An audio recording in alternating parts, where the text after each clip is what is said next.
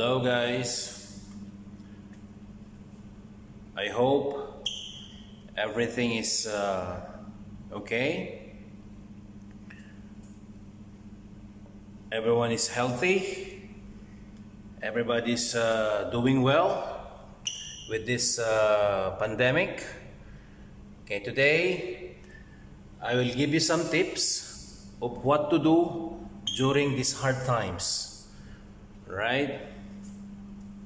As we all know, we're having difficulties. Everybody's having difficulties. Everybody's suffering. Okay?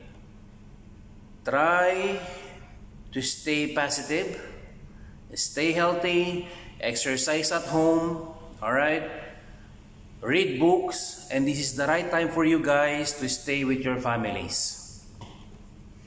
And one, one more thing that I want to share that I've learned during this uh, quarantine period is for you to correct your sleeping pattern.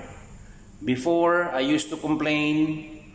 I used to sleep like three to four hours a day because I've been so busy.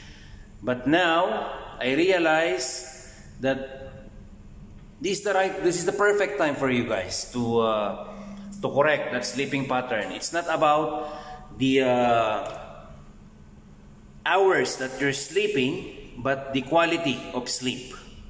Okay? So, stay positive, be grateful. We need to fight this. This is not your fight, this is not my fight, but this is everybody's uh, fight. So, stay at home, follow the rules of wherever you are, what country you have been to. Follow the rules, stay home, self quarantine, and this will be over soon. But we need your help. Everybody needs everybody needs to do their part. Okay? So stay positive, be grateful, do something, read books, stay with your family, check your diets, exercise at home using your body weight, and this will be over soon. So God bless. Stay positive, guys. This is your Coach Linus, your personal trainer.